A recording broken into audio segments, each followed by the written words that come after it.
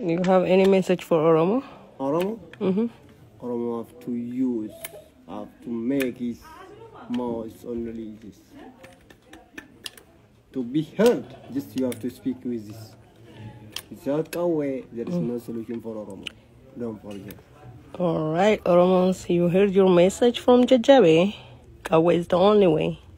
Whether you believe it or not, whether you like it or not.